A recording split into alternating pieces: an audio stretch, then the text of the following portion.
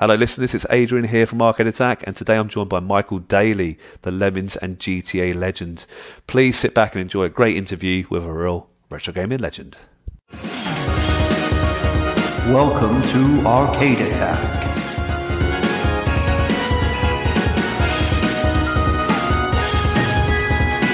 A retro gaming podcast for up to four players.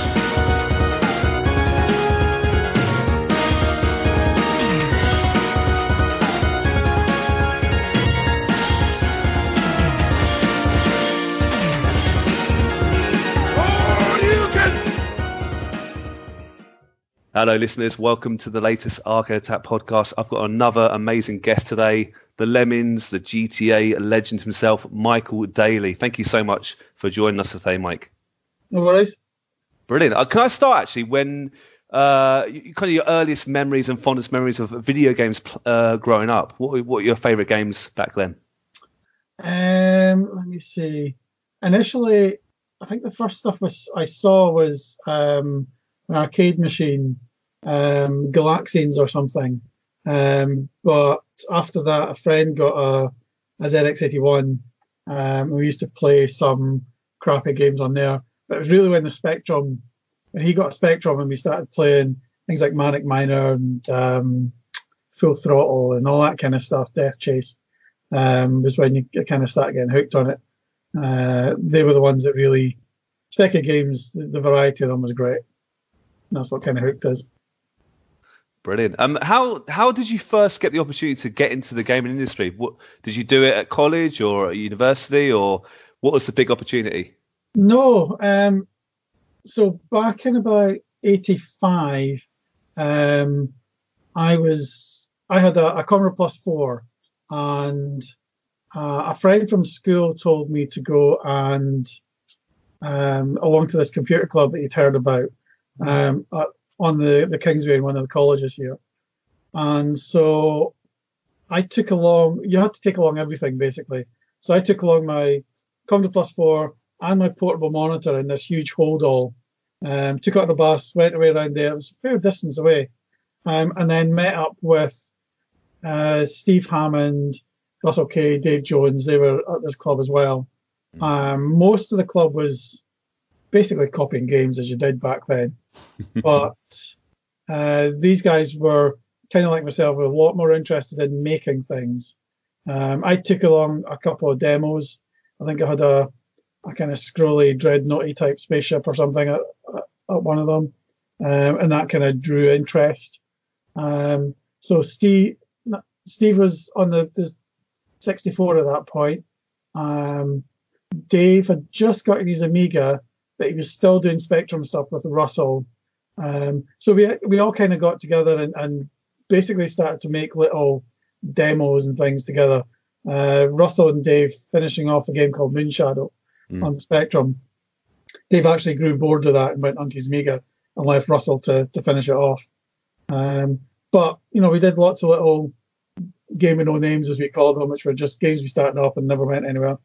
Um, and then Dave started to get into his Amiga programming a lot more while he was at uni, and um, basically that's what uh, Menace came out of. Hmm. Um, I'd I'd been I think I was just finishing school at that point. I was going away to college. So once he finished Menace, he started doing another game called Blood Money um, on the Amiga, and Menace did okay. I think it sold about twenty thousand copies enough to, to buy him a little car. And he decided that he, he quite fancied doing, you know, starting up an office. Um, I'd just been kicked out of college uh, around Christmas time for not going, basically. Um, the courses back then were all kind of sysadmin things, just they weren't particularly useful. Mm-hmm. So no great shakes. Um, but my mother obviously wasn't particularly happy. Um, but I think three months after that, um, Dave asked if I wanted to, if, if he started an office, would I want a job? So, I mean, that was a pretty easy interview and a pretty easy answer, you know, uh, get into your kind of dream job doing games. So he took, he got me a, a Dolphin DOS for my Commodore 64, which was a kind of turbo loading thing, mm. the disk drive. and I I did this shoot 'em up demo, um, and he gave that to Psygnosis as, as proof I could code, and he got um, for my first game, um, Ballistics. He got that as a port from the Amiga NST, and I had to take that onto the Commodore 64. So we kind of started oh, probably about May or so um, in Russell Kay's house. Uh, we were up in his bedroom um, doing these ports. And he was doing Menace at that point. I put Menace to the PC, and I was porting Ballistics over uh, to the Commodore 64. Um, and we were there for about three months until Dave got an office sorted out, and we all moved out of the office. So it was a an interesting start, but you know it was, it was fairly straightforward as far as I was concerned. You don't get interviews quite that easy. Do you want a job? Yes. No. Thank you. So, yeah. I mean, I mean, you obviously earned your job, but I suppose you knew the people as well. Were these? Correct me if I'm wrong, uh, Michael. These were the original. You, you and yourself include the founders of DMA Design. Is that right? yeah, the four of us were kind of the ones that started out back in 85 or, or so. Um, we, were, we were all making games together. And then when Dave started up, uh, I mean, it was his money. He, he started the office. And then I was the first employee. Um, Russell and Steve were freelance for a while and then came into the company later. Brilliant. What does DMA stand for, if you don't mind me asking? Doesn't mean anything. right, fair enough. That's a very good answer. Um, what was it like the early days? Because he said earlier, just then you worked in bedrooms. Obviously, it got, I assume, a bit more professional when, when you moved to an office. What, how do you reflect on sort of really early days and sort of finding your feet and, and building a name for yourself? Um, I mean, it, didn't actually change that much when we went to the office um, because it was still just the four of us initially. Um, it was still very much a boys' club. Um, so much so that when Dave's girlfriend came down to the office, um, she would go into a cleaning frenzy because the state of the bathroom in the office was horrendous. um, and because we were, you know, teenagers and early 20 somethings, we didn't even think of that. So in the early days, it was it was very chilled, um, and it still didn't feel totally real when you get down to it. I don't think it did until I saw the first my first game on a shelf in a shop. Um, that was pretty cool. Um, it, it, took a good few years till other folks started coming into the office before it started getting a little bit more, you know, we're a proper development studio uh, now. So Gary Timmons appeared a month after me.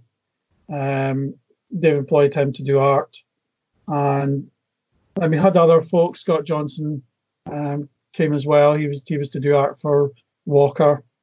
Um, who else came in the early days? We had lots of devs float in and out as well. We kind of became a hub. Yeah. Uh, because there wasn't many places in Scotland for coders. So I think there was one in Glasgow as well, and they'd come through now and again, um, just for chats and drinks and stuff. So it was, early days was very, yeah, still very bedroom codery.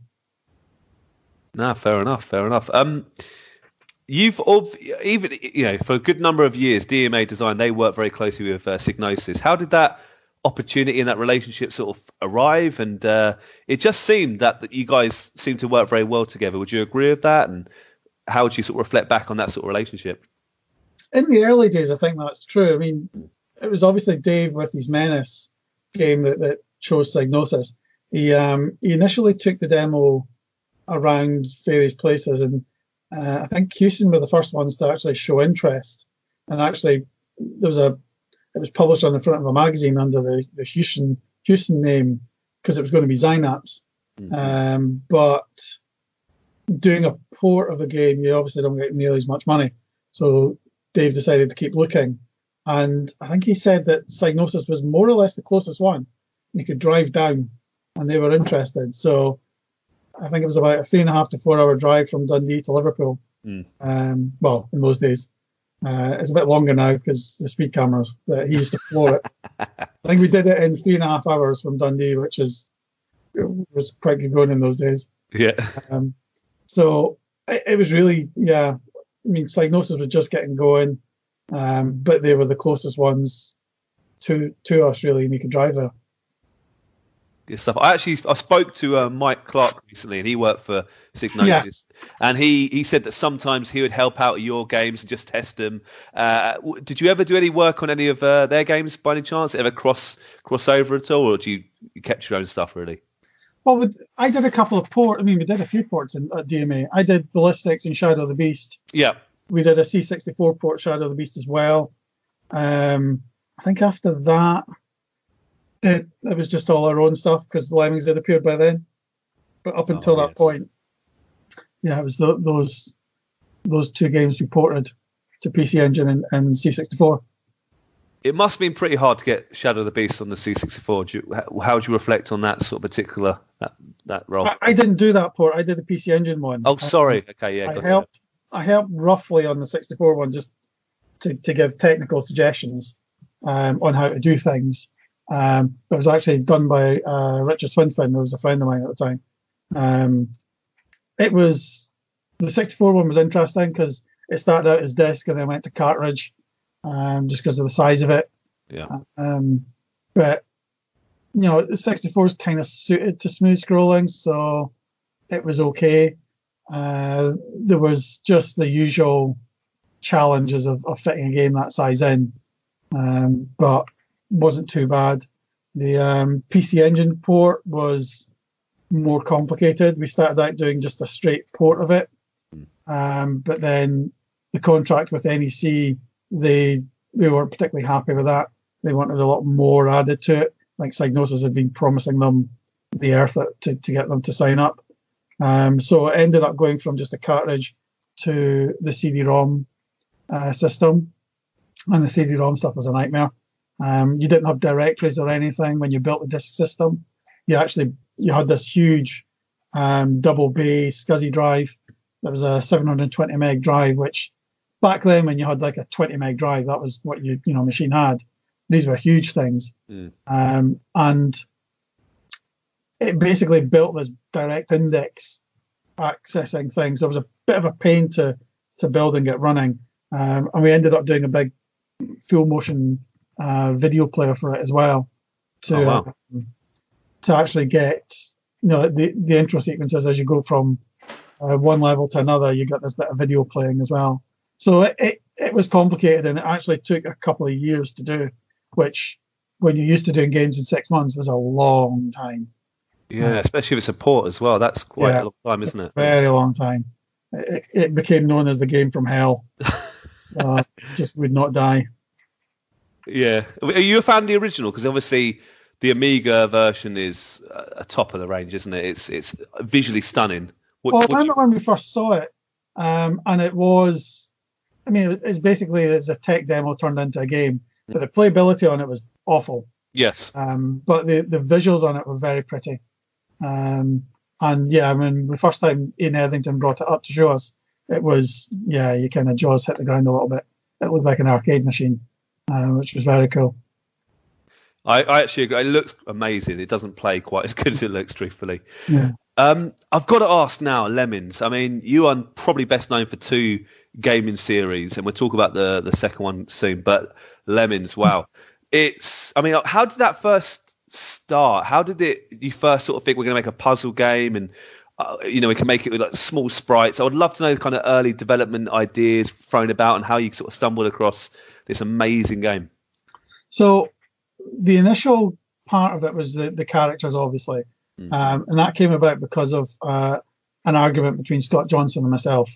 Um, Scott had been brought in, as I said earlier, to, to do graphics for Walker. Mm. Uh, Walker was the character out of Blood Money, the, the two-legged ATAT that Dave really liked and wanted to do a game with. So Scott came in to do graphics for that. He did this the initial um, ATAT sprite and then set about doing characters for the the, the Walker to shoot. Yeah. Um, but they were all about 16 by 16 pixels high, so they were they were large, um, and I thought overly large. Um, you think of Star Wars and its ATAT, you know, people barely come past the feet really, Yes. um, whereas on the Amiga that would bring them up almost to the height of the cockpit, so it would make the ATAT seem very small. So I had this discussion with him saying that um, this should be much smaller. Eight by eight would probably be good. Mm. He didn't think you could get any kind of character in that So I set about doing this animation to try and prove him wrong. Um, I think the animation's out there somewhere. Um, you can see from it that I did it mostly. I think it ended up being about 10 pixels with his bouncy hair, um, or spiky hair as I, I drew. Um, so, but it was it was a lot slimmer and smaller, um, and kind of fitted the bill much better.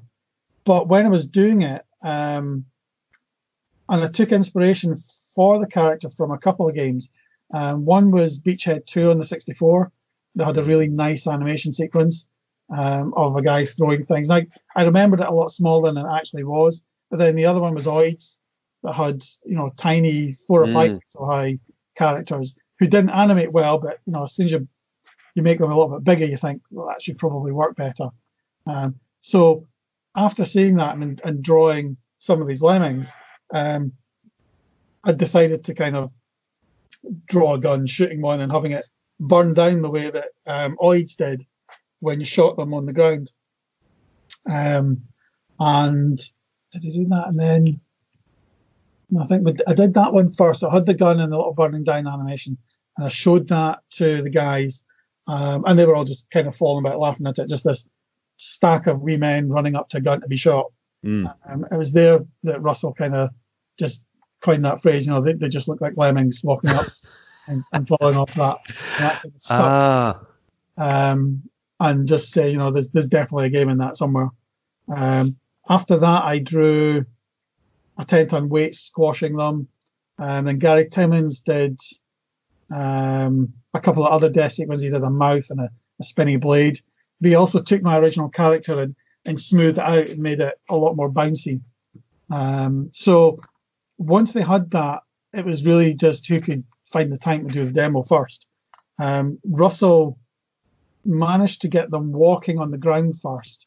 He had an idea from watching Salamander uh, when you fire missiles and they, they come along and they hit the ground and they follow the train.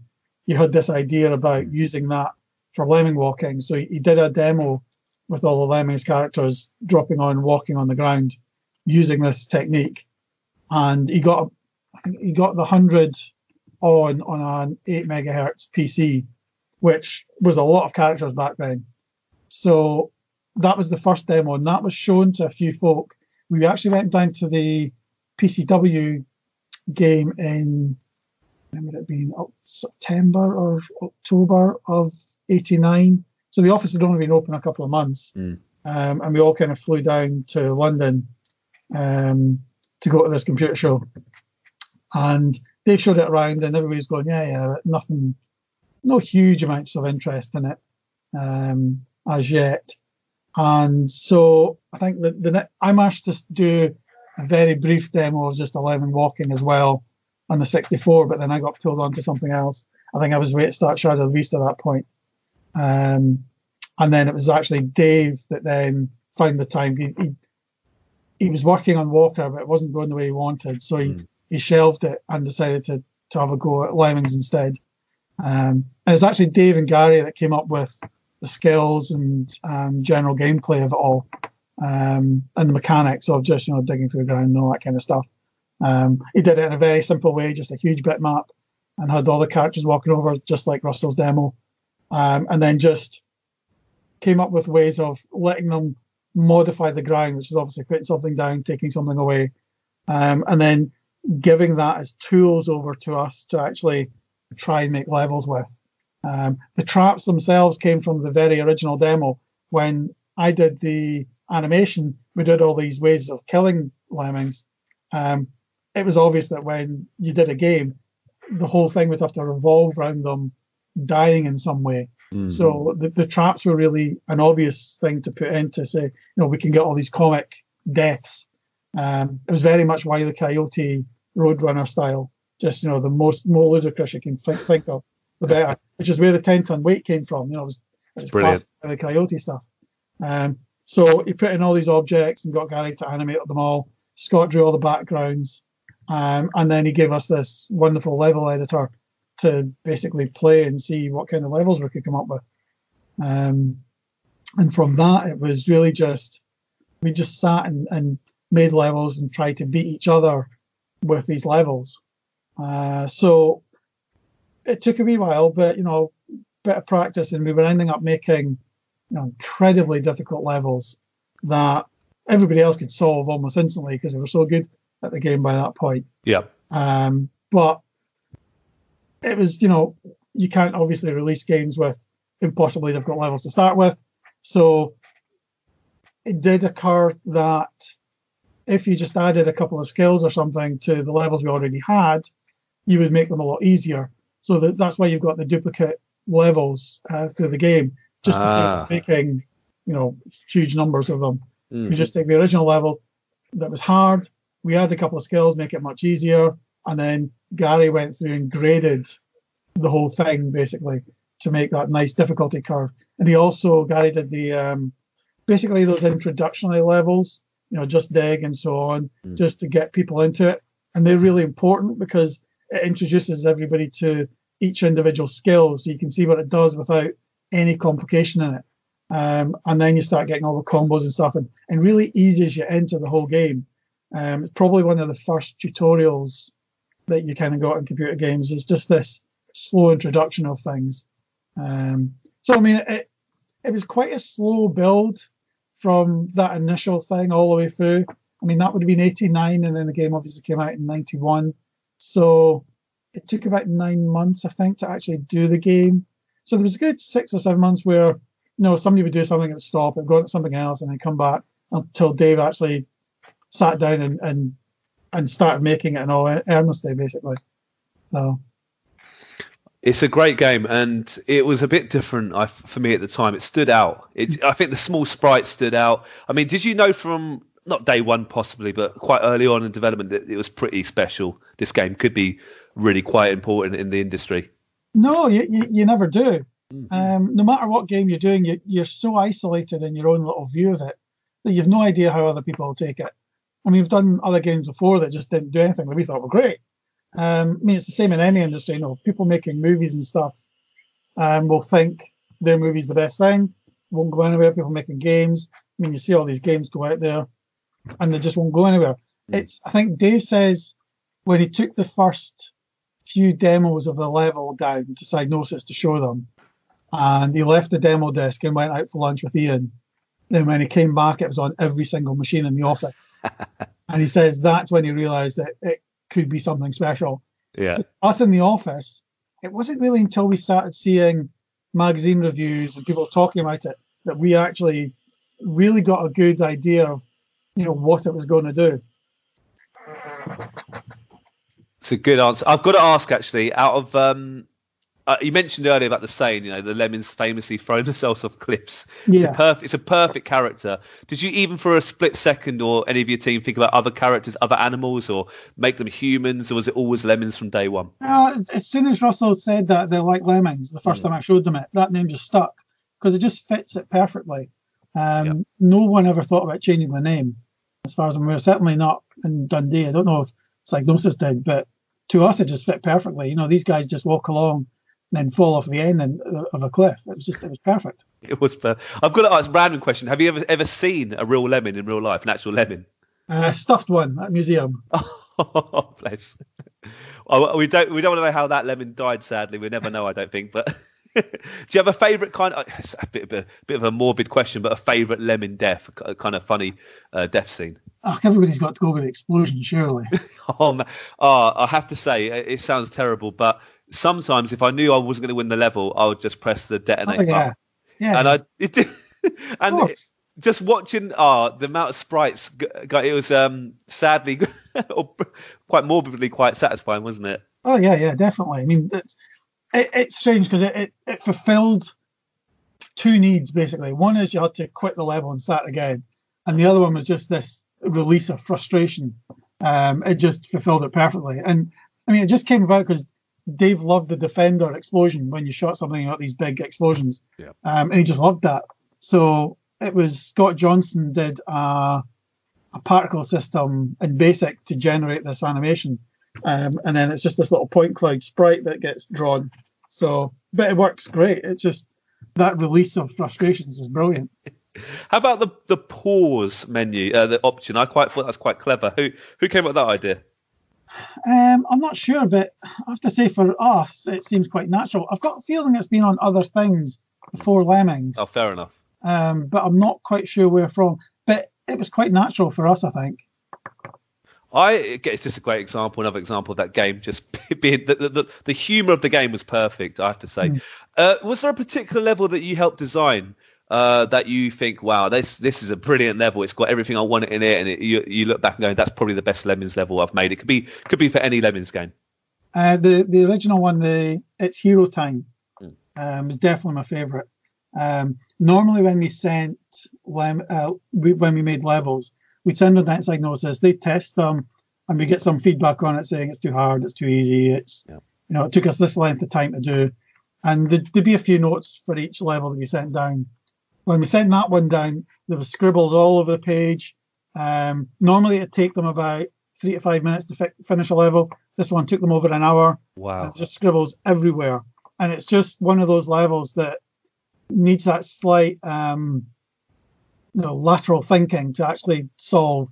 That I was really quite proud of it. It's definitely one of my favourites. Uh, again, I, I don't think I've got this in my questions, but do you are you quite? I, what I like about the game is you can complete the, the same level in different ways, can't you? Yeah. Some- and is it quite? Have you ever seen people play levels differently than you expected, and have you seen quite ingenious things go on? Um, in earlier levels, you can certainly do that. Later levels tend to be, you know, you tend to have to do them in the, the specific way. When we were testing it, um, if somebody did it a different way, we'd go and change it to make sure it Ah. had to get done in our way. Um, the original, one of the things that Dave loved about Lemmings, and actually is what got him into all the GTA stuff as well, is this kind of just give them the tools and give them an open world and, and just let them figure it out. So the tools can just be used in any way. Um, and it seems like it's very liberating and, and quite free to make them and, and use them, and you could do a level anyhow. But actually, like I say, early on when you had spares of skills, then yeah, you could probably do it slightly differently. But as soon as you got to the original design of that level, they were all pretty strict in terms of what you'd have to get and where you'd use things. Yeah. Because we spent a long time making sure that there was no other paths through. Because a lot of the time, when Steve Hammond was doing levels, a lot of his levels failed because there were these other paths, and he'd come up with this really difficult path through, uh, but there'd be a really easy one to go round. um, and that was the trick. I mean, Dave only got a couple of levels in for the same reason. It was Scott, Dave, uh, Gary, and I that, that kind of did the, the main bulk of the levels um, because we were able to narrow down exactly the path that we wanted people to take. Ah, no, good. I mean, I always thought, and you, it's pretty, you probably already answered it, that Lemmings could have a really good kind of um, map editor. You can make your own levels and and challenge your friends. But I guess I don't think that ever happened. Did it? Is that fair? No, I mean, there's there's obviously level editors out there now for it. Um, back then, the built-in level editor, there's, there's actually a video of it up on my YouTube now. Oh, Um, but back then we did consider releasing it, and the level editor that was built into the game was really nice to use. Um, but Psygnosis just reckoned would make more money selling more levels rather than doing a level Ah, editor. And also, you couldn't really share levels very easily back then, so it'd be a bit pointless a lot of the time. Um, so they just decided, no, we won't do a level editor. We'll just do more levels. you, you had the Christmas uh, editions and so forth, didn't you? And oh no more lemmings. Yeah, no, that makes sense. Yeah. Definitely. I've got to ask you actually, Mike, about the infamous 666 level on lemmings. I mean, Yeah. you, that was one of yours, wasn't it? Yeah, I'm afraid so. What? what? I mean, is that the hardest level in the game? I mean, can you explain exactly Oh, no, how that come? How did that come about exactly? it's not very hard at all. It was just a, a visual concept more than anything else. Um, in the level editor, you could set the release rates, the number of lemmings you had, and all this kind of stuff, and it would give you a percentage at the end that you had to save and so on. I was trying to make 55 of everything, um, but releasing 55, whatever it was, lemmings, I couldn't get the 55% to quite match up. Yep. Um, I just discovered by accident, I've made it 66, all the percentages and everything just worked out, so I could do 66 of everything. Um, I happened to be doing designing the level because there was the different styles, and I just so happened I was in the fire and brimstone style, and you just like fire and brimstone six six, oh six six six, no, yeah, that, that sounds like a good idea. Yeah, no, it wasn't. Um, and that's that's the only reason it came about. Um, and we got serious stick for it. Oh, really? The US kind of, you know, deep south, they were not happy with a 666 in a game, Hmm. um, saying promoting Satanism and all that kind of stuff. Although I do tend to think you're dropped in it and you're rescuing them from it and taking them to a better place. That's that's my theory. I'm with you. I'm with you. Was there any other kind of funny levels like that, or you know, interesting sort of ideas that maybe didn't make it into the game? Any other kind of weird, you know, level ideas, for example? Not for me, really. I mean, the 666 one obviously got in, but was dropped from, I think, every other port of the game. Um, like the the Nintendo ones and stuff, they they all dropped that and, and put in a substitute level. But all the other ones went over um, as is, and there was very little not taken. I had I've got one or two on my editor desk that didn't make the cut, but if they didn't make the cut, it's because they weren't particularly good Right. rather than there's just no space for it. We used all the levels that were good, basically. Fair enough. How about um, abilities? I mean, obviously, so- some can sort of build bridges. There's umbrellas, obviously. Uh, there's diggers. I mean, you, you, there's so many very interesting abilities. Was there any original for the original title? I mean, abilities that were discussed that never quite made it into the game. No, I mean when we first when we saw it, I mean it was it was mostly those skills that were in. I don't ever remember other ones um, really kind of coming and then going. It was always just the ones that were there. Um, they kind of fill the gap pretty well. I think the only things that we thought were missing were some kind of vertical uh, climbing thing. You've obviously got the, the builders that go diagonally, but you can have diggers that go straight down or miners that go diagonally. So there was no vertical build, but that was just part of the mechanic, just couldn't do that at the time. So the ones that were there were always the ones that were there. There was nothing, there was never any really added, and then we thought, no, we'll take them out. Um, they, they just fit really well, I have to say. Uh, Oh, Dave Gary did a great job with those skills. They're just Right. they were Yeah. perfect for it. No, I agree. I think it's the perfect amount. How about um?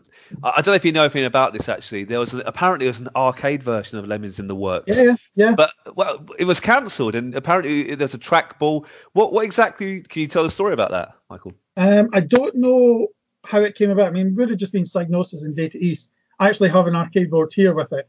I rescued Wow. it from DMA when it Oh um, died. Um, you can actually play it on MAME. I managed to get the ROMs off it. I don't know if they exist anywhere else. That's so amazing. the Data East guy was apparently a huge Lemmings fan, and apparently whenever you had a meeting with him, he would challenge you to a two-player Lemmings. Um, so he was just huge fan of it. So they they um, commissioned an arcade one. Um, it got, I think that you can play the different levels. There was lots of bugs in it, um, but it was yeah, it was going to be trackball because obviously you play it with a mouse rather than Yeah. uh, joystick. Uh, so we did have one in the office, um, which is the, the board I've got. I didn't actually rescue the trackballs, um, but you know it was there. It was buggy. Like I say, you, you can probably find it from MAME. Um, Data East did it, and you know it, it looked like Lemmings. It was also the thing that they gave us the idea for the fast forward because they implemented the fast forward for Lemmings One. Uh, oh, that's clever then. Yeah. yeah, and we thought that's a good idea, so we pinched it for Lemmings Two because it was the thing that really annoys you in Lemmings One, waiting for all your Lemmings to finish. Yeah. Um, and fast forward, yeah, makes total sense. So we pinched that. There you go. There you go. I mean, I bet those arcade machines are worth a pretty penny uh, if there's any knocking about still. Well, I don't think it was. They never got as far as an arcade machine. Right, It was just okay. a, a, a board. Oh, fair enough. Fair enough.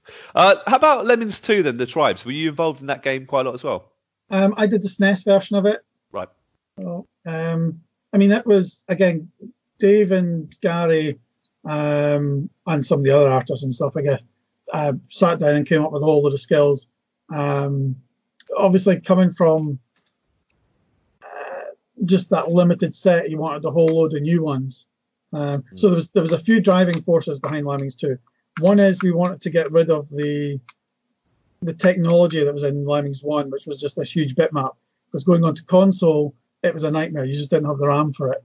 So Dave came up with a tile map system that he figured out would kind of work and then sat with me and we kind of went through it and made sure it would. So I was obviously going to do it on the SNES, so I had to. Um, and that that was the kind of main driving force as far as the technology went, is to make sure it was actually portable onto everything. Um, but in doing so, you also got a chance to change the orientation of the levels. So Lemmings 1 was obviously just horizontal.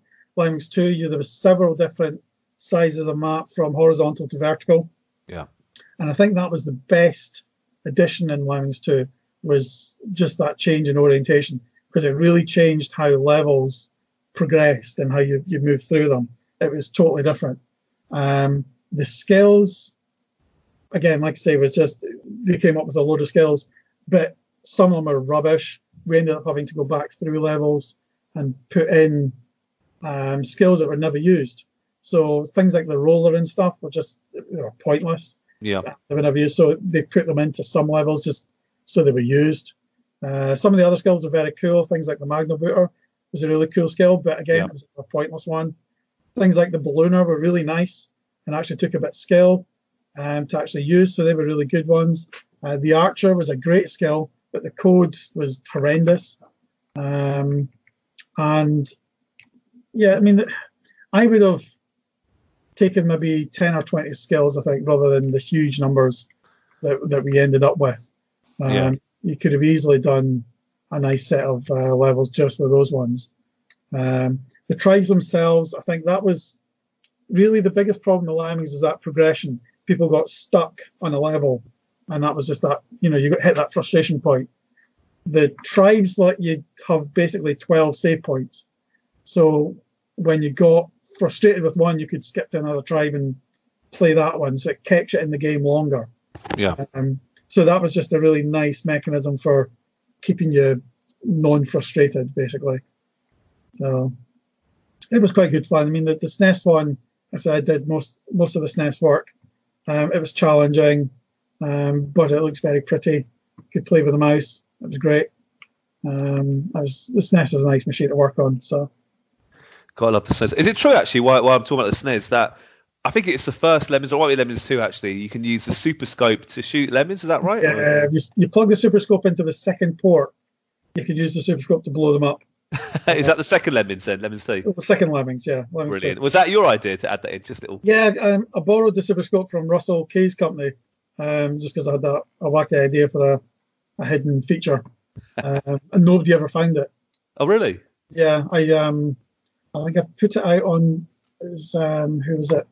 The Armin Animation guys. They were doing a talk, and they asked me about it. So they did a video again. It's up on YouTube um, of them plugging in the Super Scope and playing Lemmings 2. Um, nobody ever found it, which surprised me, I have to say. Yeah. I have to put you on the spot now, Mike. Is there any other sneaky Easter eggs you've added in any any other games that you can reveal, or have you keeping your Um, lips sealed? No, I think that Shadow of the Beast had a, an Infinite Lives thing, Ah. um, but that was just on the buttons, and, and most people found it. It was really easy. I think you just did one, two, two, one on the fire button, and you got Infinite Lives um, on the title screen. Yeah. Um, Blood Money, you typed in "We missed" because we missed the deadline, and that gave you cheat mode, the Infinite Lives on that one. Um, what other games? I think that's it really. It There you started a bit picky after that, so yeah.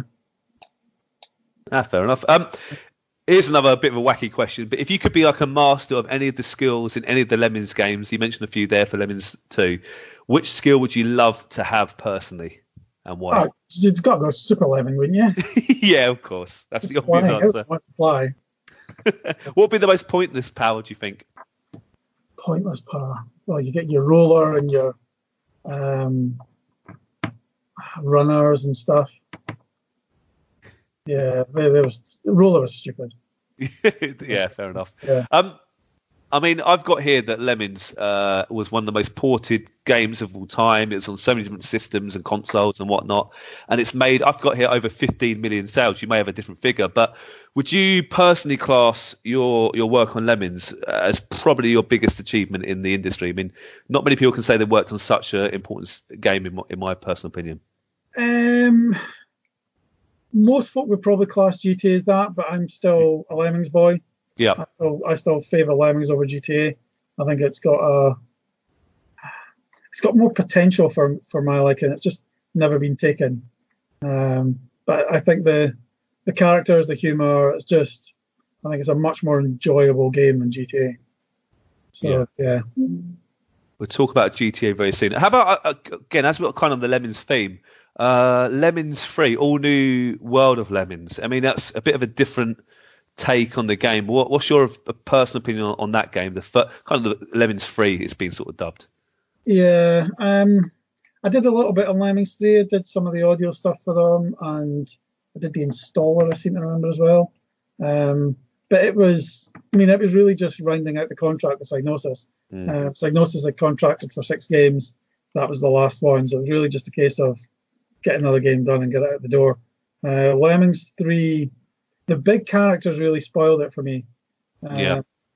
That came about because um, they got contacted by uh, the Children's Television Workshop, so Sesame Street, um, who were really interested in using lemmings to count, because obviously there's a lot of them, and you could probably count them, and they like doing that. So they thought having lemmings on screen walking past and counting them would be quite cool, um, but they needed them bigger for TV. So Dave decided we'll do lemmings 3, we'll make them bigger, then they could use it in the TV.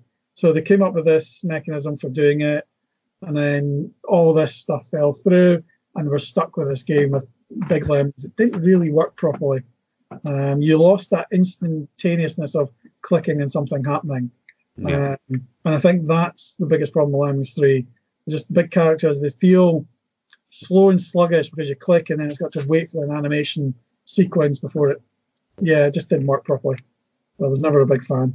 No, fair enough. How about um the future of Lemmings? I mean, there's been some mobile games recently. Uh, would where would you like to see the series taken in the future, and would you ever love to get back on the Lemmings hot seat?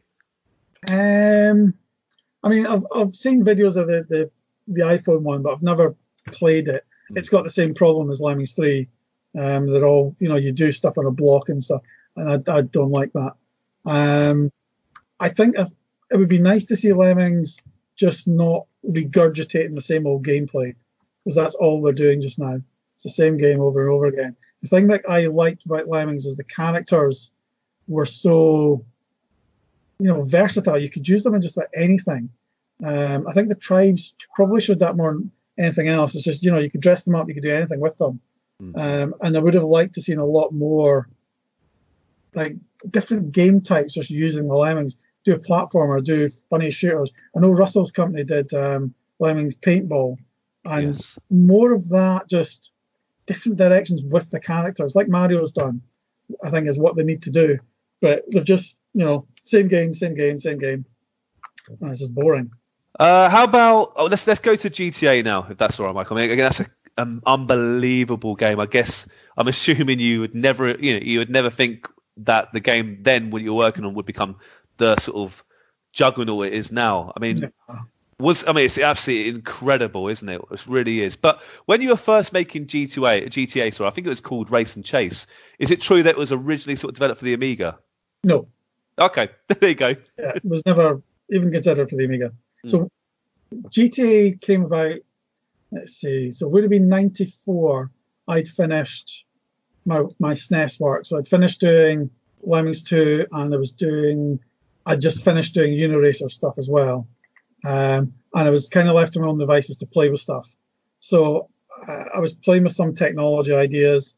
Um, I'd never done an isometric game, so I decided to basically see what how you do an isometric game on a, on a PC. That was my current platform. Um, so I built this basic isometric thing, standard isometric. You build a level, you walk through it. Um, I thought, okay, that's very good, but everybody's obviously done that. So what can you do to make it a bit more interesting? So I decided to basically see if I could spin the isometric view uh, smoothly rather than just that forced 90 degree thing. Um, so managed to get that working um, and basically had this kind of city, little mini city view um, spinning about in an isometric view, which was quite interesting. So I showed Dave and he thought, you know, you could probably use it for some kind of game engine. So he gave it to Keith, who just finished Lemmings 3. He was the guy that led the Lemmings 3 team. Yeah. Um, and him and, um, what was his name? Watson, Graham Watson? No. oh, I can't remember the guy's name now. Somebody Watson. He, the designer guy, he came up with basically a game design that was about gangs fighting each other um, using this engine, and it's actually really what Lemmings, uh, what GTA 2 kind of turned into, funnily enough. But for this one, they set out trying to build, rebuild this engine, but they're trying to do it in high res. Uh, Keith wasn't especially good at assembler, so it was all in C, so it was just sluggish, and they just couldn't quite get it working at the pace they needed it to. Um, but while they were doing that, um, I would I'd carried on with my kind of tech ideas, um, and had seen Clockwork Knight on the Sega Saturn because we had a Saturn machine in the office. Yeah. I was sitting watching it, and I loved this kind of parallax platform, you know, perspective platform that they had. Um, so I thought, well, could I do that on the PC? Um, so I managed to reproduce that perspective, you know, platform that he jumps on, um, and then realized that, you know, what if I took the GTA that isometric thing, which was basically just a big stack of points in this kind of cute world that spun. What if I did that and actually put perspective on it, so that you know it could be side on, and you could have all these platforms moving in this kind of perspective cube world. Yes. Um, I got that up and running, and then showed um, John White, who was uh, they were they were starting to work on the um, N64 stuff, um, and he'd said that they'd been trying to get a racing game past Dave for ages, but he just wasn't particularly interested. Uh, Dave's a big car nut, but just racing games are always the same thing. Um, this promised to be a little bit different from normal racing games. Racing games in general was that first person view, kind of, you know, driving the car in a third person thing, whatever. Um, so I suddenly realized if I put a wall in this uh, side on platformer uh, that I had, but actually painted roads on it, then all of a sudden it goes from the side on thing to top down just by putting roads on the wall. Yeah. Um, and so all of a sudden you've got this little mini kind of top down city that you can kind of scroll about and you get this lovely perspective out of it. Uh, so this was late 94 um, that I was doing this. This would have been on, still on a 486 at this point. Um, so I showed Dave. So Dave um, was there with a guy, David Osborne, who was the, one of the head artists. Uh, Keith was there. And we kind of showed them what I could do and, and how it worked. And if you remember back, I was saying that Dave likes this idea of a sandbox, you know, like Lemmings. You give them tools and a world to play in and just let them go at it and put things in it. And you kind of realize pretty quickly that given a city that you've got decent kind of uh, constraints around, so you can make it appear quite busy, that you can make, you know, this kind of living city, and then you could just drop players into it and let them, you know, do things. And so he decided, okay, we'll scrap the other one, um, which turned out to be a good idea because um, about a year later, Syndicate Wars came out, and Yeah. we kind of we didn't like the viewpoint at all, and that was more or less that isometric rotating thing. So we were quite pleased we dropped that. But Keith took the engine, read it on C, um, and then they started to do this game that David thought of, which is this cops and robbers. So you could play either the cops or the robbers. Excuse me. Um, and the idea being that if you're the cops, you would chase after the robbers. If you're the robbers, you avoid the cops and commit crimes and so on. Um, so it took a while for them to kind of get things going, particularly because the, they couldn't get the car physics right for a long time. Mm. Um, and then Pat Kerr, who was working on a game called Wild Metal Country, um, he basically just went, look, here's here's a car we did. And, uh, they, they kind of dropped this one in. It was just very nice to use. And at that point, they got this kind of driving through the streets of this big city. Um, there's nothing else there. It was just this one car driving through. There was corruption all over the place, but you got this feel of speed and a car going through the um, the city. And it's kind of that point you go, yeah, this feels nice. Mm. This could be quite cool. Um, and then they start to put the city into life and just you know add pedestrians, add more cars, and all this kind of stuff. Um, GTA has always been kind of slated for its very basic retro graphics, um, which in some regards true, but at the same time the game would never have worked in a third person or first person um, viewpoint, particularly back then. Yeah. You think you're, you're starting the game in 95, 96 is where it's supposed to be finished. You know, you'd, you'd still be software rendering, really. Um, you couldn't have drawn a city with any kind of view distance in third person and have populated it at the same time. You look back at games like Carmageddon and stuff that have, um, you know, were about that time. Yeah. They've got like two people walking about and another car. There's nothing there. Whereas GTA, because of that top-down view and sprites, you know, it, it's busy. There's lots moving Oh, about. yeah. Um, Oh, yeah. And that's what really makes the game. And most people tend to miss that. Is that it's the fact that it's a living city is why you have so much fun in there. And if it had been in 3D, it would never have been like that. So I think the the whole thing about you know giving this top-down view where you could zoom out and you see more of the city, the the engine just kind of lended itself to that, um, and it let you confine it to just that view to be able to fill it with interesting things. You can put in lots of pedestrians, you could put um, other cars in it, you could put police, ambulance, all the trains and stuff, and they were very easily culled out without having to try and draw huge amounts all the time. Um, so it kind of progressed, um, as most games do. Um, it went through lots of design issues, most of which I'm not particularly privy to because I was I was doing tech on it. Um, I took over the rendering of it from Keith. Um, I ended up giving them this little library that would release now and again with a new rendering engine.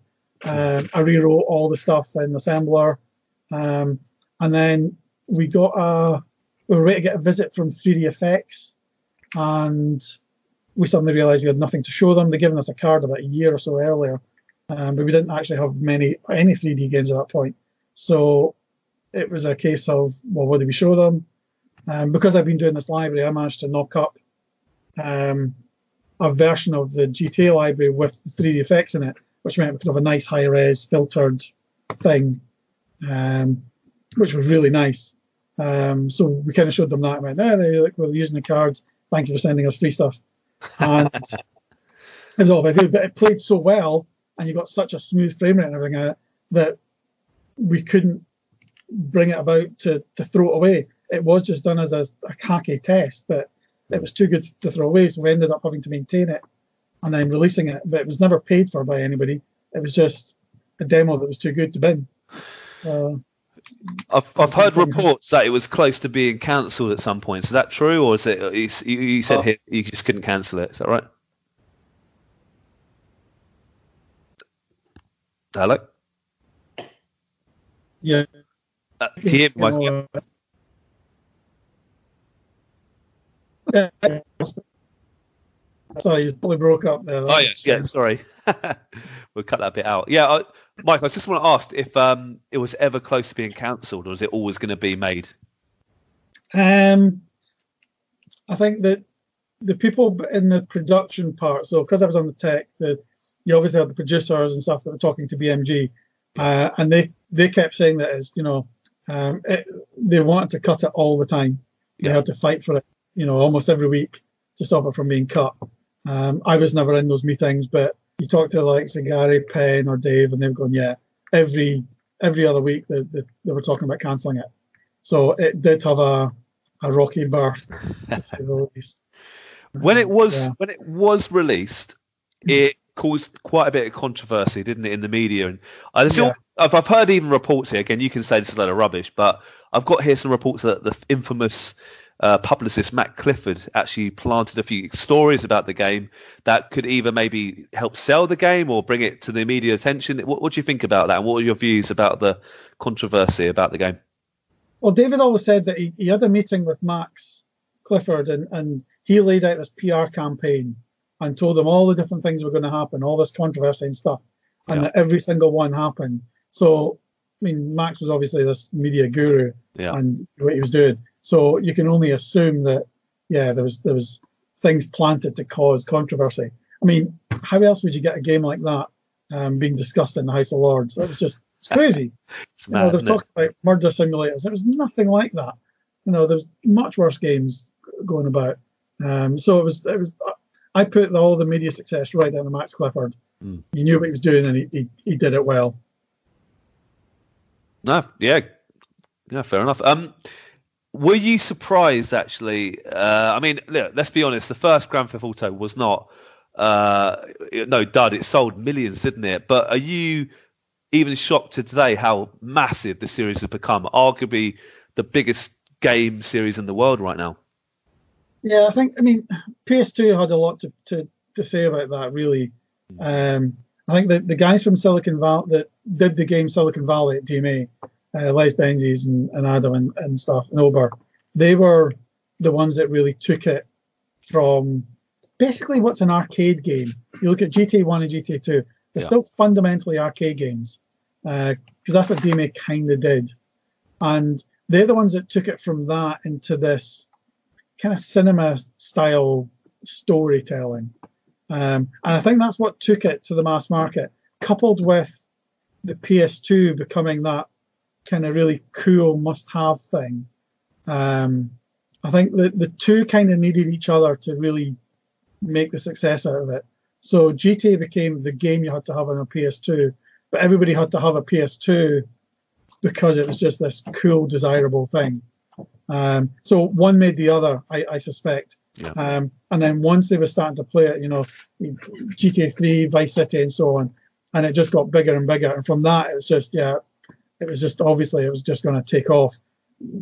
I don't think you could ever have guessed it was going to be as big as it is, but certainly back in, you know, early 2000 or something, uh, after GTA 2 and Vice City, you could kind of see it's it's starting to grow its momentum. Yeah. Um, but I put that again down to to Les and the guys that just mean, just took it in a totally different direction from the original game. The original core game's still there because that's what's still fun. You know, stealing cars and going about and stuff.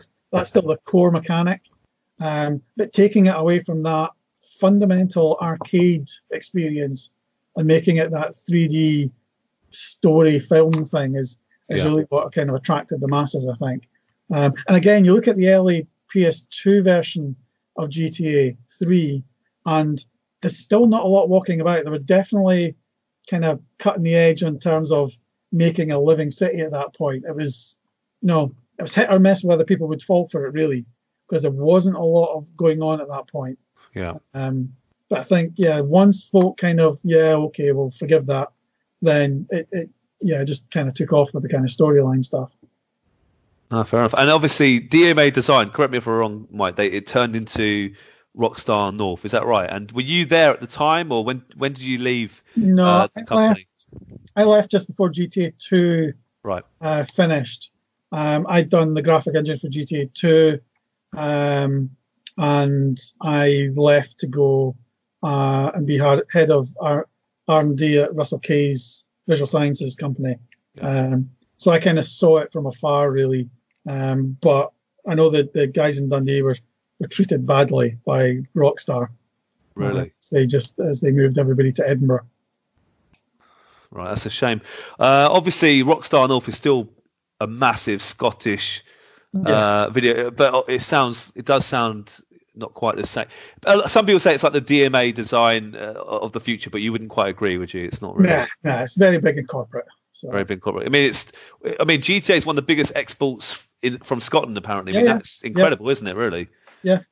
When you think, of- when you see the new games, do you see it as a completely new entity, or do you still sort of, you must still feel proud that you're part of the Oh, original? yeah, I mean, it's, it's of still an evolution of the original Yeah. games.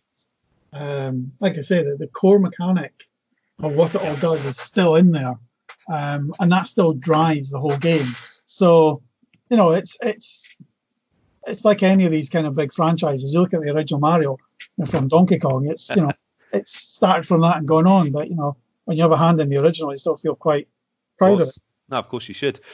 Uh, are you looking forward to the new GTA 6? I mean, there's rumblings it's being produced, and which direction do you think they should go in? Do you, do you think it's just going to keep going the way it is, or are you a fan of the current sort of series? Um, I haven't played GTA 5 at all. Mm. Um, I had I did get four just to run about and then see what the engine was like, but most of the games, I mean, GTA 3 and 4, like I said, I don't know about 5, but I, I hate this kind of blocking off of content where you just want to drive about because that's Oh yeah, that's the fun bit.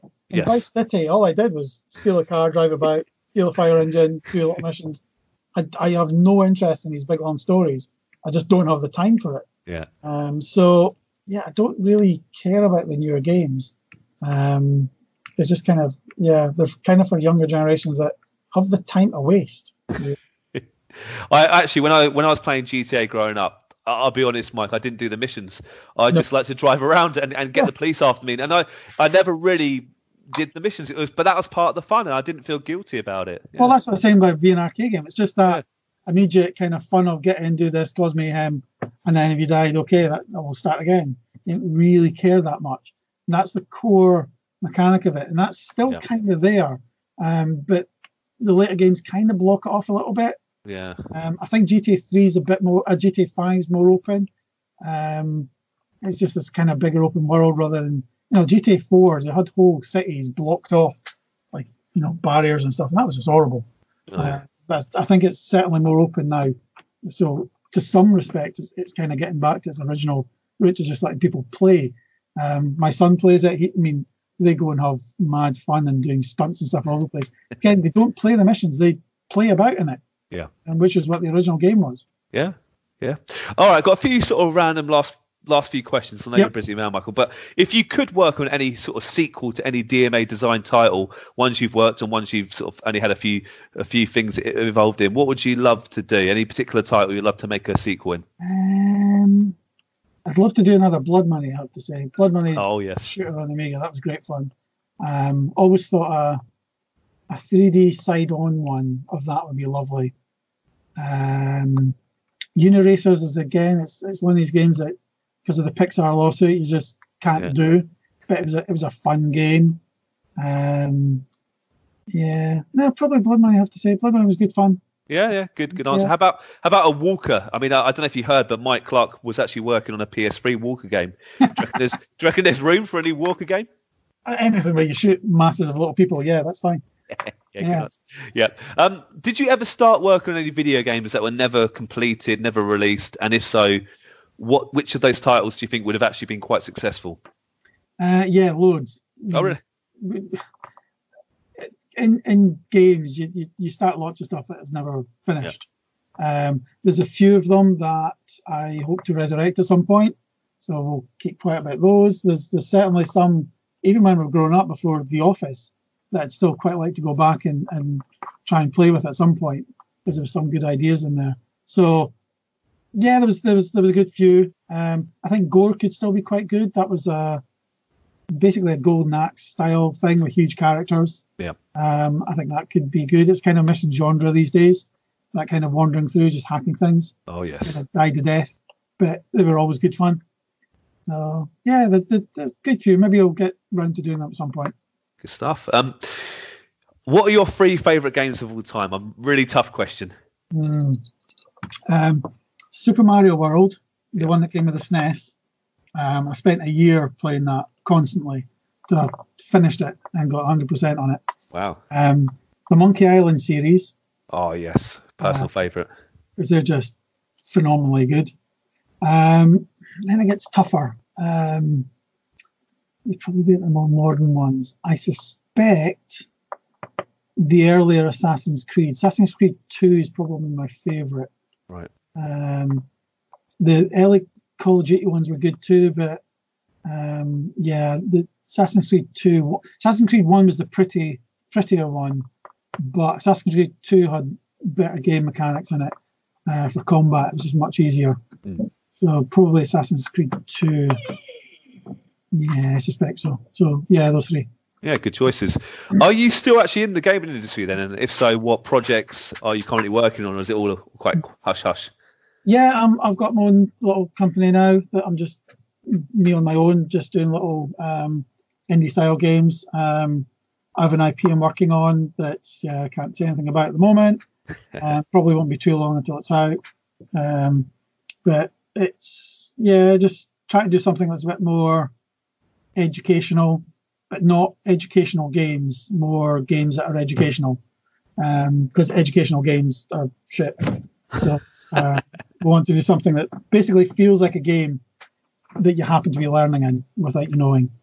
Um, I think that's that would be nice to try and achieve. Yeah. Um, I think this, kids spend so much time in games. If you could just turn the tables on them a little bit uh, and get them to learn something when they're in there, that would be nice. I like it. I like it. Um, it's been a great chat, Mike. I've really enjoyed owning to you today. I've got one sort of final, sort of wacky question. Mhm. Um, if you could go for a few drinks with any video game character in the world of any video game, who would you choose and why? yeah, it's a tough one that. Um, it would probably either be the Leisure Suit Larry guy, because he'd have some hell of a story, Oh, yes, it Um, would. or the Blue Shift security guy, because he desperately needs a drink. one of those. They both need drinks for different reasons. Yeah, yeah. oh, Michael, thank you so much. It's been a great, a great chat, and um, yeah, I really appreciate your time today. No worries. It's been fun. Thanks for listening to today's podcast. We really hope you enjoyed it. If you want to get in touch regarding this week's episode or anything else, you can tweet us at Arcade Attack UK, at Keith Barlow 82 and at arcade underscore Adriano. We're also on Facebook at facebook.com slash.